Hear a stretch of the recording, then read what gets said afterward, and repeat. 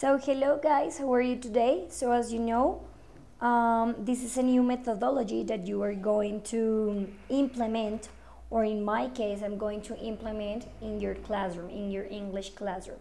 So, as you know, um, yesterday we put in practice going to versus present progressive. So it is important that you remember that you keep in mind that going to and present progressive have no differences. So what does it mean? Depend on the context in which you want to express your ideas is the tense that you are going to do, that you are going to use, sorry. So for example, um, if I say something with going to, could be, what are we going to do today? But what about if I say present progressive?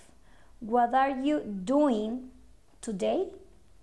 So it depends of what are the things that you want to express in a determined moment.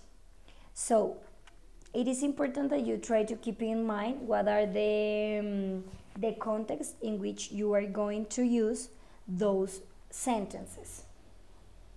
So it is important that you in your photocopy you are going to you are going to know what are the main differences in which you can in, in which you can implement both. So that it is enough for today. I hope that you try to enjoy this new methodology. Love you. Kisses